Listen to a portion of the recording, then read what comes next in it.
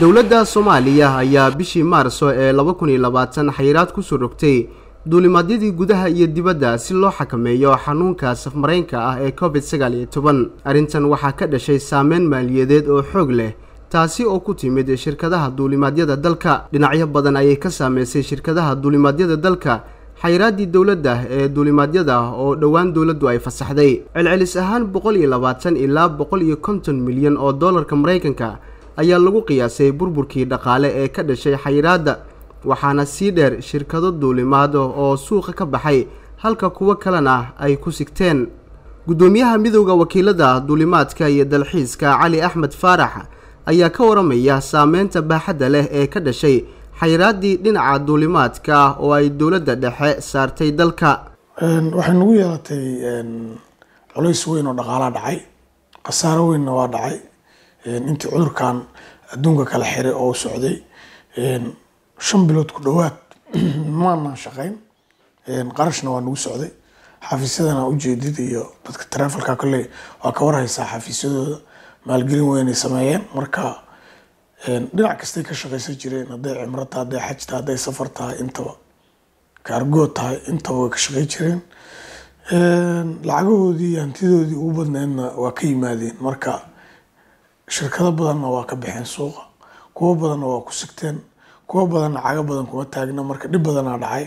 Marka sidaasay culays weyn oo dhaqaale ah ku dhacay dhammaan duulimaadyada oo ama shirkadaha taraafalka ahaadeen ama kuwa diyaaradaha ahaadeen dhammaantood khasaaro weyn ah ku dhacay.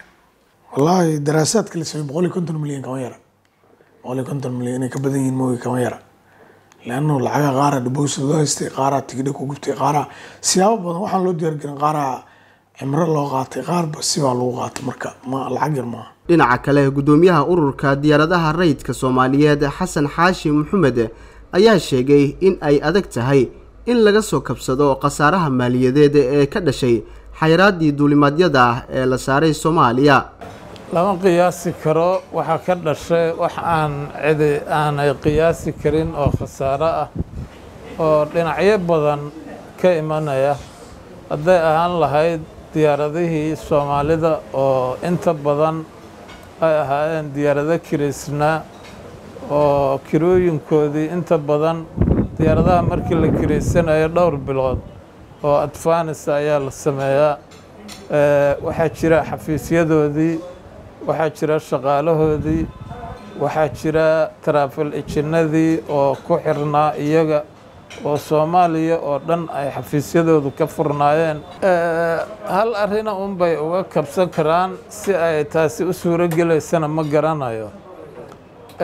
Diyaaraduhu in la furay khasaarihii ugama soo kabsan karaan laakiin waxay u baahan yihiin in ay gacan helaan oo weliba gacan dhow oo gacan dowladeed ah inay helaan ayay uga soo kabsan karaan wixii gaaray oo khasaaro ahaa.